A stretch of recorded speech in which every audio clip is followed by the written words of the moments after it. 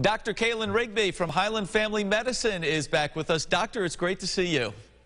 Hi, good morning. So we're talking about American Heart Month.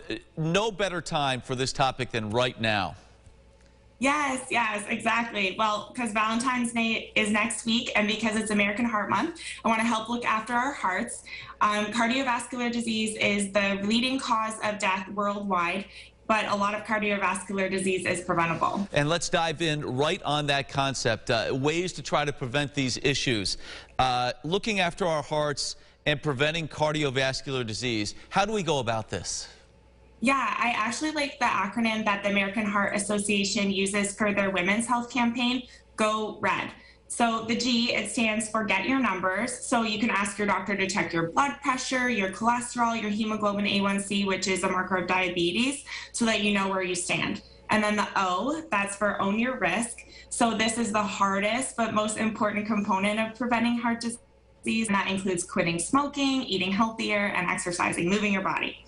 And then R, realize your risk. So this is something else you can work with your doctor on. We have things like the ASCVD risk score. That's a score that helps us predict your risk of having a heart related event like a heart attack or stroke in the next 10 years.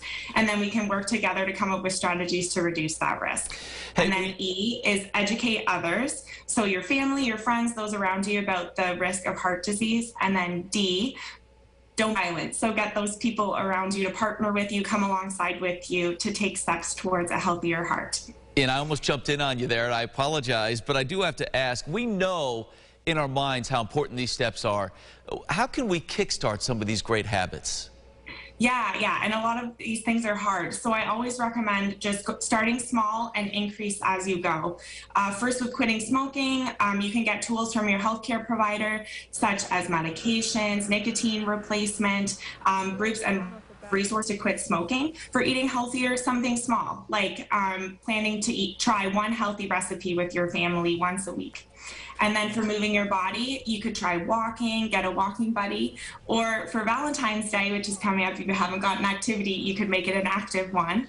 So you could try hiking, snowshoeing, skiing, rock climbing, and uh, whether or not you have a significant other, you could do those things. right. Every step is a step in the right direction. Hey, a final thought about American Heart Month before we let you go. Yeah, of course. So um, as you see all the paper hearts and the chocolate hearts around this Valentine's Day, I hope you remember to take care of your heart. Thanks for having me. Happy Valentine's Day and American Heart Month. Dr. Rigby, uh, it's our pleasure. Thank you for such great advice as well. A reminder at home, if you missed any of this conversation, we'll share it online as well. You'll find it at rochesterfirst.com.